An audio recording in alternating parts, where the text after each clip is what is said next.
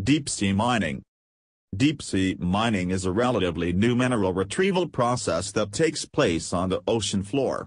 Ocean mining sites are usually around large areas of polymetallic nodules or active and extinct hydrothermal vents at about 1,400 to 3,700 meters below the ocean surface.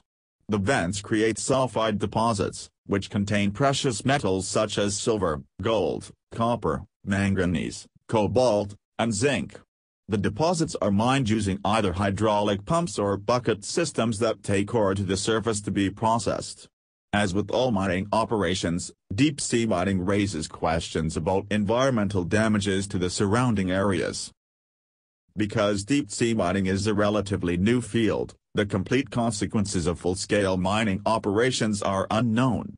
However, experts are certain that removal of parts of the seafloor will result in disturbances to the benthic layer, increased toxicity of the water column and sediment plumes from tailings. Removing parts of the seafloor disturbs the habitat of benthic organisms, possibly, depending on the type of mining and location, causing permanent disturbances.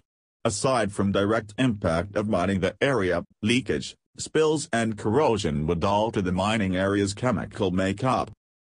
Among the impacts of deep-sea mining, sediment plumes could have the greatest impact.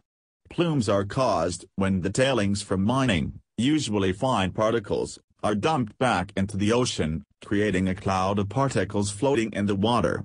Two types of plumes occur, near-bottom plumes and surface plumes. Near-bottom plumes occur when the tailings are pumped back down to the mining site. The floating particles increase the turbidity, or cloudiness, of the water, clogging filter feeding apparatuses used by benthic organisms. Surface plumes cause a more serious problem. Depending on the size of the particles and water currents the plumes could spread over vast areas. The plumes could impact zooplankton and light penetration, in turn affecting the food web of the area.